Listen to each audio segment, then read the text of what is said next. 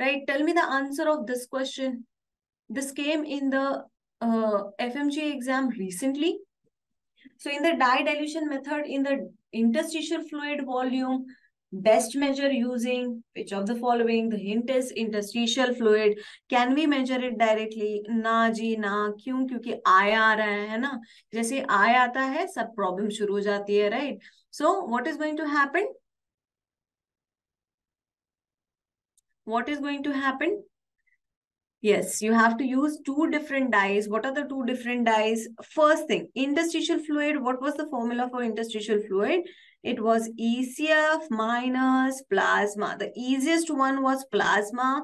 I know for the ECF, I'm going to use the Simon and for the plasma, most of the time, the options will be Evans blue dye. That's why I given the uh, mnemonic that is asthma asthma wala.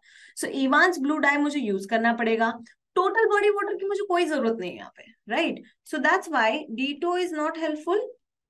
That is there and T2O, tritium oxide or tritium oxide is the T2O, right? So that is also not useful. The remaining one is inulin and Evans blue. We know the asthma is Evans blue, asthma is blue blue, and the inulin is nothing but the Simon ka I. That was inulin. So that's how you are going to get to the answer. That is nothing but the inulin and Evans blue type.